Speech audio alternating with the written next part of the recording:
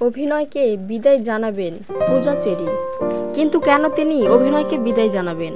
প্রিয় বন্ধুরা, এ সম্পর্কে বিস্তারিত জানতে আমাদের ভিডিওটি না টেনে সম্পূর্ণ দেখতে থাকুন। আর একটি বিশেষ অনুরোধ, দয়া করে আমাদের চ্যানেলটিকে সাবস্ক্রাইব করে পাশের বেলাইকনটিতে একটি ক্লিক দিয়ে রাখুন, যাতে সব ধরনের আপডেট খবর সবার আগে আপনি পেয়ে যান। ঢালিউডে লাস্যময়ী অভিনেত্রীদের মধ্যে পড়ে পূজা চেরি। একাধিক জনপ্রিয় সিনেমা রয়েছে তার ঝুলিতে। রোজার ঈদে তার অভিনীত জিন সিনেমাটি বেশ আলোচনায় ছিল।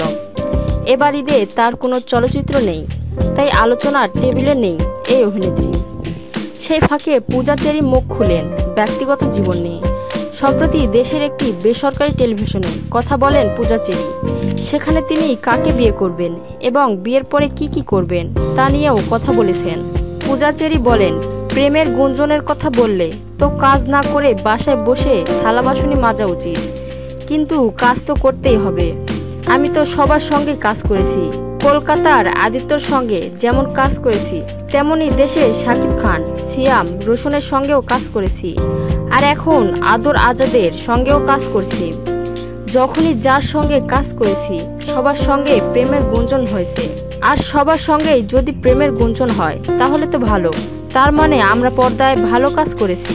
বিয়ের প্রসঙ্গে পূজাচেরি বলেন, আমি সব সময় বলি, এখনও বলছি, আমি মিডিয়ার, কোনো মানুষকে বিয়ে করব না, আর যখন বিয়ে করব, তারপর থেকে আমাকে ক্যামেরার সামনেও দেখা যাবে না। এটা সব সময় বলি, তাই বলে এমন নয় যে আমি এখনই বিয়ে করব। আমি ভালো কাজ করতে চাই, ভালো কাজ দর্শকদের উপহার দিতে চাই। চলচ্চিত্রকে আমি এখন বিদায় জানাব না। তিনি বলেন, আমি অবশ্যই মিডিয়ার বাহিরের কাউকে বিয়ে করব। যার সঙ্গে আমাদের বিনোদন জগতের কোনো যোগাযোগ থাকবে না। পূজা সব শেষ। মুক্তিপ্রাপ্ত সিনেমা জিন আরও ছিলেন জিয়াউল, রোশন, জান্নাতুন নূরমুন জাজ মাল্টিমিডিয়া প্রযোজনায়। সিনেমাটি পরিচালনা করেন নাদের চৌধুরী। উল্লেখ্য, এই মুহূর্তে মাকে নিয়ে আমেরিকায় আছেন এই অভিনেত্রী। আমেরিকা থেকে দশে জুলাই দেশে ফেরার কথা রয়েছে তার। দেশে ফিরলেই কামরুজ্জামান রোমনের পরিচালনায় লিপস্টিক সিনেমায় শুটিং করবেন পূজা চেরি।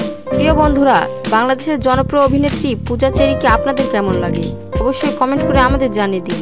আর পরবর্তী আপডেট নিউজ সবার আগে পেতে আমাদের চ্যানেলটিকে সাবস্ক্রাইব করে পাশে বেলাইকনটিতে একটি ক্লিক দিয়ে রাখুন, যাতে সব ধরনের আপডেট খবর সবার আগে আপনি পেয়ে যান।